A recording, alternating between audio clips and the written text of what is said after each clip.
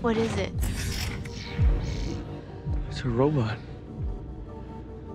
But like a like a different, you know, like a super advanced robot. It's probably Japanese. Yeah. It's definitely Japanese.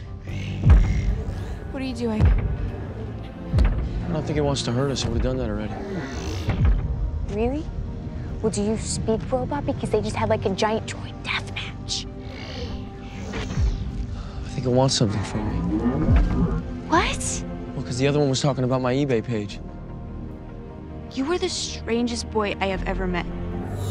Can you talk? XM satellite radio. Digital cable brings you. broadcasting system.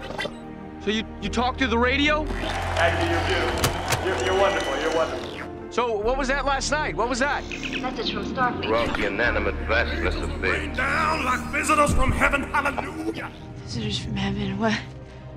What are you like an alien or something?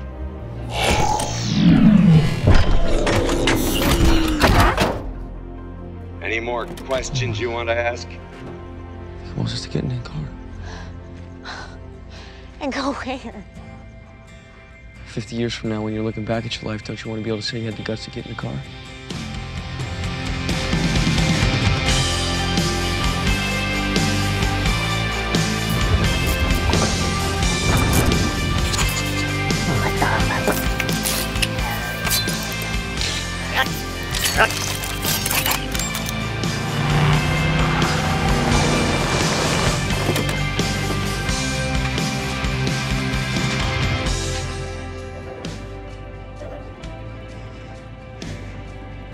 Car's a pretty good driver. Yeah. Why don't you go sit in that seat there?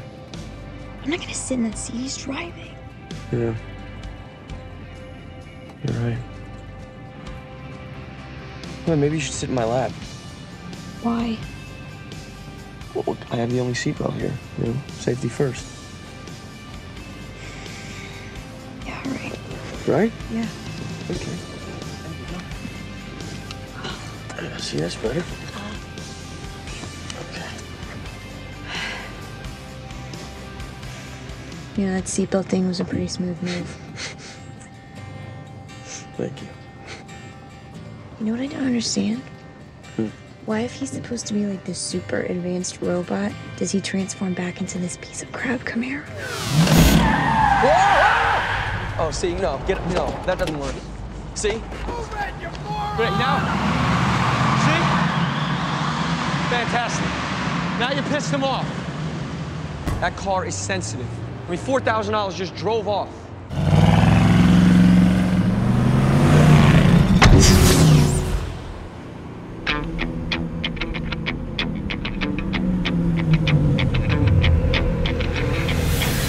What?